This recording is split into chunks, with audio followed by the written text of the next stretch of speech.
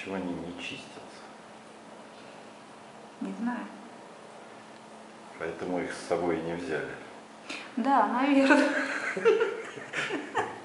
Грязнули. Грязнули.